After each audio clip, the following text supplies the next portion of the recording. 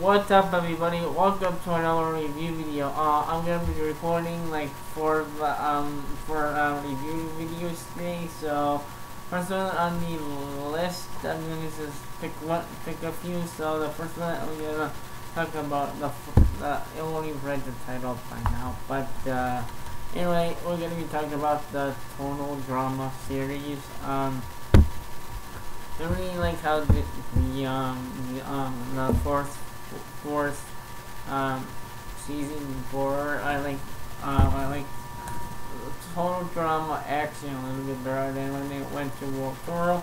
Tour I kinda um kinda like it a lot.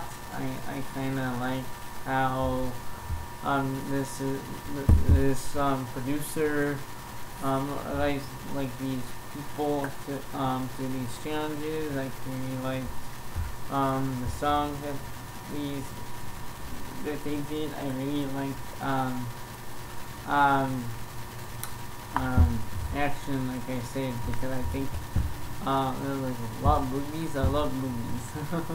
and I, I pretty much when they went to I think the total drama they added new characters.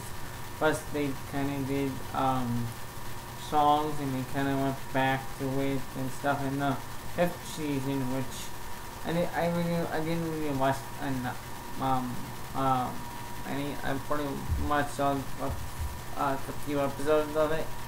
Um, and it was like um some old the old um total drama and some adding like a whole new bunch of characters to it. And I really like this how this worked how um can work like a reality show, but for um, around 16 year olds or kind of like around my age types of cartoons. I really like it, and plus, um, um, this is the total drama, and the uh, the 6teen, like I mentioned, not the the person, the age, but the TV show.